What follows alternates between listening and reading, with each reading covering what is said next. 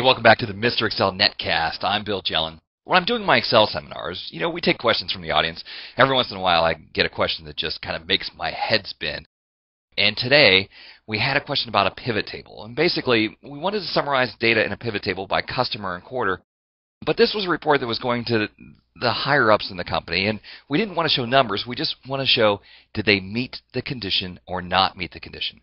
And so we basically had to apply almost an if statement and put text either yes or no. And I have to admit that this one threw me for a loop. And my ultimate solution is interesting. I think it's cheating a little bit, but let me walk through how we did this. We started with data, pivot table, click finish, and I'm going to put date along the left-hand side first. Of course, we have daily dates. I need to roll that up to quarters. So I right-click, Group and Show Detail, Group, and choose Just Quarters. Click OK. Well, now that's short enough that we can have that going across the top of the report. Down the side, I want Customer. And then in the heart of the pivot table, I want a gross profit percent. Now, that's not in my field list here. I have profit and I have revenue.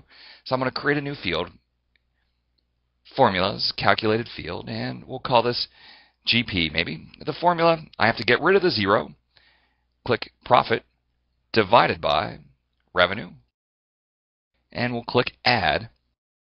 Okay, so you see that we have gross profit percents throughout. Now, a couple of things. We want to get rid of these error values. That means that there was no sales to that customer in that quarter. So we'll go to table options and say for empty cells, show blank. We'll also choose for error cells, show blank. And I'm going to turn off the grand total for the columns and the grand total for the rows. Click OK. All right, so we're getting closer now. We have just a series of GP percents here. And this was where we said, okay, you know, let's pick some arbitrary number. If it's greater than maybe 0.54, we want to show yes. If it's less than 0.54, we want to show no. And of course, you would have your own numbers. And we talked about adding a field to the original data set, but that is at the detail level. We need something at the, the final level here. So what I did was I went to sum of GP and I double clicked on that. First thing, we're going to change the name. That's a strange name, sum of GP. We'll call it GP percent or something.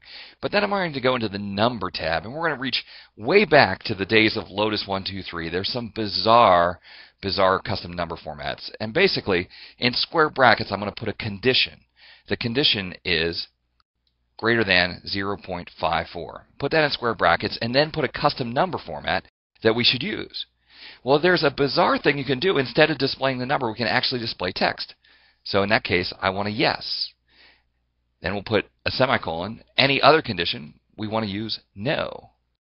Click OK, and sure enough, Excel will change all of those numbers, which, you know, generally you give this to the CEO, he's going to be confused with all those numbers, to just a very simple, they made the condition or they didn't. We have a series of yes, nos using a very, uh, I'm going to call it obscure custom number format that will allow you to create conditional formats and basically overriding the digit display completely with some text of either yes or no.